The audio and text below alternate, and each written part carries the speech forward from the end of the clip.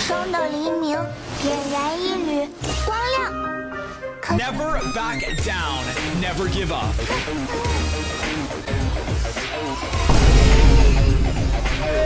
Baby, that's what I'm waiting for. That's what I'm all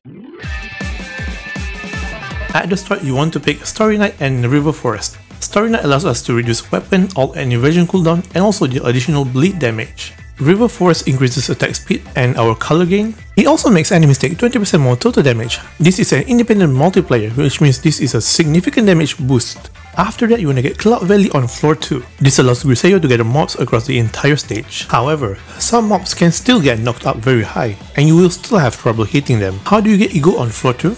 Just keep resetting the run. It will take a couple of minutes, but it will make your run so much better. In ER, Griseo can use single color combo attack, it's just faster. Red color also reduces weapon cooldown. We don't need blue and yellow color because we are not using Elysian Astra, and ult is already long enough until next cooldown. Uh, you still wanna do 3 color combo for Espirigen. Once you have enough Espirigen from Signets, you can completely skip 3 color combo. For Signets, start with Daybreak. Since the Signet overhaul in version 6.6, Daybreak is really strong for bleed characters. And then build Infinity 1 and Stars 1, doesn't matter which one you build first. But I guess Infinity is better now since it's your current plus 2 Signet and the support cooldown reduction will help support BK to break Heimdall shield faster. These are some of the gear options. Elysian Astra auto triggers evasion skill, uh, which opens up more signet options like Blue Tain in Star Signets and Setsuna Signets.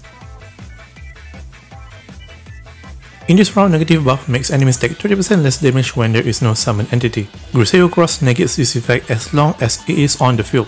Get this for stage buffs. If you are watching this from the future, see if the stage buffs benefit Griseo. For this run, I am using Formable Cross, Silver Reaper, and the starter Stigma Ryunosuke. This is garbage, I hope you guys have something better. Uh, Ryuno has attack speed, so that's a cool bonus. For Sigil at the start, just go for Daybreak stuff, all in Daybreak. For supports, start with BR and SA. On floor 10 shop, switch to BK to break Heimdall's shield. For the rest of the floors, use Snowy Sniper to increase physical damage taken by the enemies.